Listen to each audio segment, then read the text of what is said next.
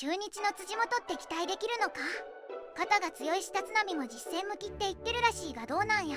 打つかどうかだけや、守備は問題なしって感じか、ショート出しに割も打てればええやん。それじゃルークと変わらないやん。守る方は使える。昨年の少長くらい打てたらええんやけどな。我次第、中日2023ドラフト、1位と2位順に片通。オリックスなら紅林くらい荒れてた。結局1年目の成績で、強打を上回る遊撃手なんて取れへんからな。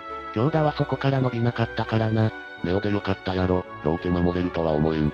嘆きはパンチ力あるらしいやん。